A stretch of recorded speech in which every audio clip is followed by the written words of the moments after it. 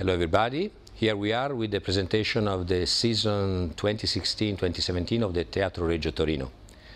And uh, as you can see, we have uh, two operas uh, very connected with this theater because uh, they have been composed by Puccini for this theater, were commissioned by Teatro Regio, La Bohème and Manon Lescaut.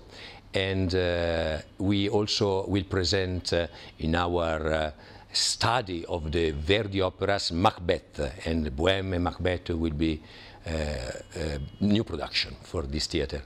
And you can see also we try to present a very large possibility of dishes. So the Sansone Dalila Saint-Saëns, we the Balletto, La Bella Addormentata, Sleeping Beauty by Tchaikovsky in a choreography by Nacho Duato. We present a Baroque opera. It's a particularly new idea. We started uh, two years ago, but we continue. It's been incredibly successful. And this year we present uh, Vivaldi Incoronazione di Dario in Torino, in the Bibliothèque, National Bibliothèque, there is the 85% of the production of Vivaldi in manuscript, so handwritten. So it's important for our theater, Teatro Regio Torino, to present this opera.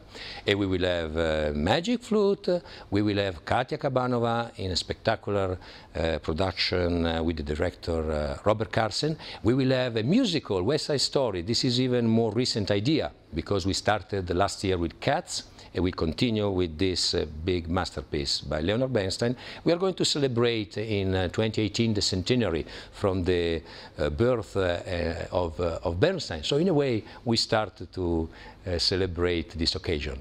I really, I really want, I really invite you, if you want to spend good time, to enjoy life and to experiment the quality we present, come and we will be happy to welcome you.